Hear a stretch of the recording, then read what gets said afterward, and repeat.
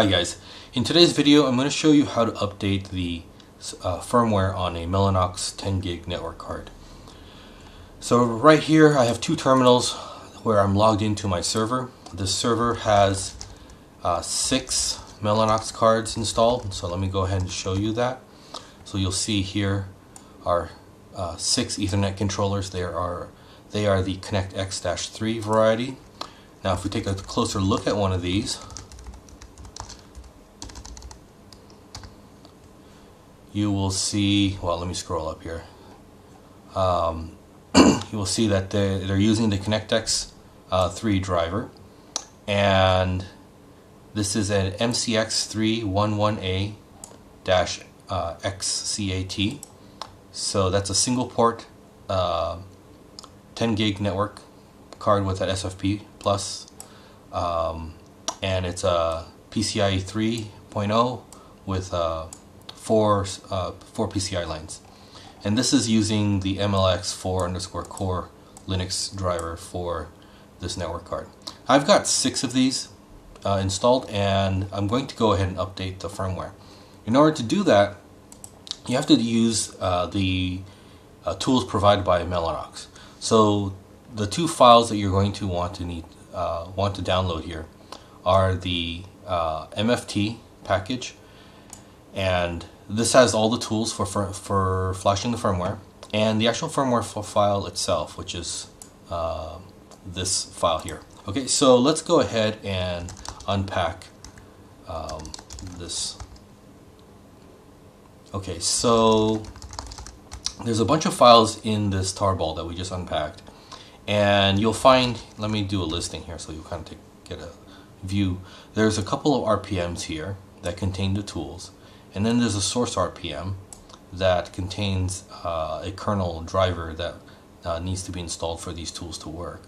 And so you might be tempted to go ahead and just install these RPMs, but it's actually easier if you run their install script because it will uh, build the, the kernel package that's required for this stuff to work.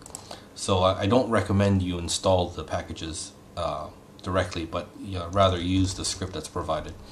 And because it's going to be building a kernel package, you're going to need the kernel uh, development pack, uh, RPM, in this case in CentOS, but in whatever Linux distribution you're using, make sure that the kernel uh, development package, uh, package for the kernel that you're running is installed.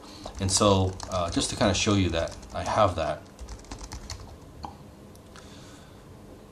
Okay, so I'm running kernel 310.957.1.3 and this is on a CentOS 7 system with the latest updates uh, applied. And so since I have this package, I can go ahead and run the install script. Now if you were to run the in install script and you did not have this package, it'll issue a warning and abort. And so, you know, it'll basically kind of direct you to and go ahead and install this. But since I've already have that done, let's just go ahead and run the install script.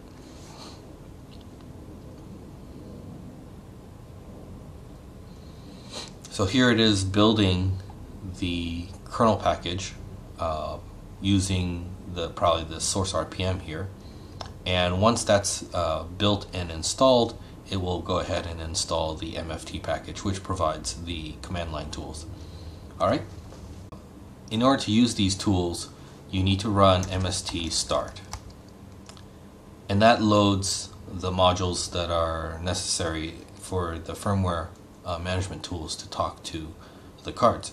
So right now we can run MLX uh, firmware manager and if I just run this you will see there's uh, a huge listing that just kind of sc scrolled by but we'll just look at one example of this so device number six, this is the, the sixth um, card that's in here, is uh, currently on firmware 2.10.4290 uh, and the update that we have is actually newer than that so we're going to go ahead and apply that. Now what's important here is this PCI device name. So you're going to need this in order to, this path, in order to update um, the firmware. Okay, so um, so if, if I were to just say grep out device name, okay, So these uh, six paths are what I'm going to need. Now the firmware itself, um, let me kind of back out of this directory. The firmware itself is this other file and we need to unzip that. And so you'll just have an ordinary .bin file.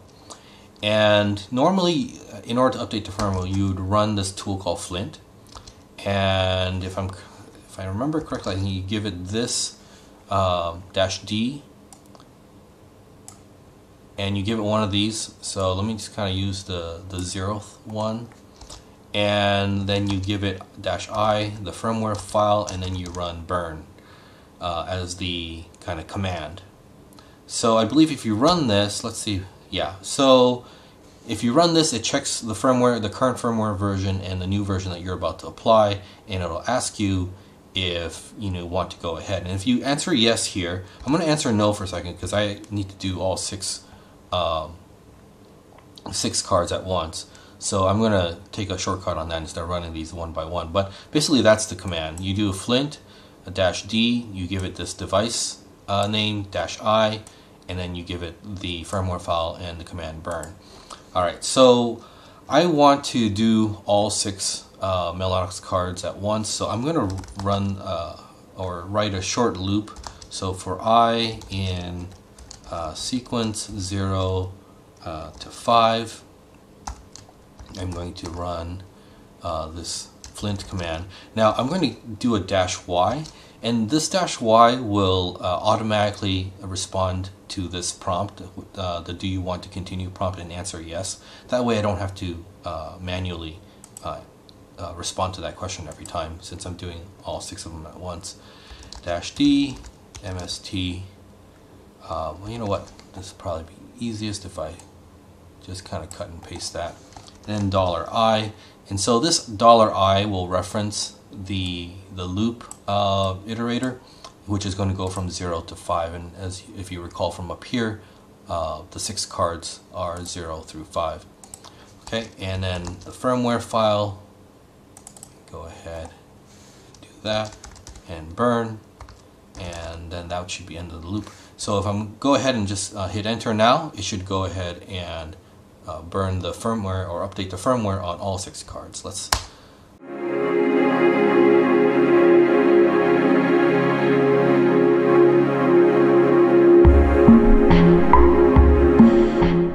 Okay, so that's it. That's uh, all six uh, Mellanox cards uh, with the latest uh, firmware. Now if we run ML MLX uh, FW Manager again,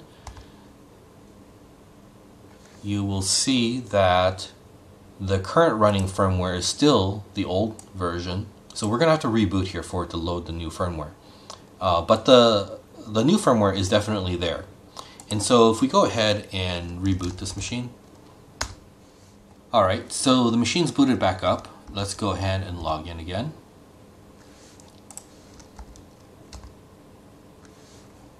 And I gotta switch to root in order for the tool store and you have to run this MST start again. Alright, so if we do MLX firmware manager, so now you'll see that the current firmware that's running is the new version that we just flashed onto the cards. And we should see that with all six cards. Perfect. Alright, so that's it. That's all it takes to update the firmware on the Mellanox network cards. If you like this video, please click on like. And if you'd like to see other videos from me, please subscribe to my channel. Alright, have a good day. Thank you.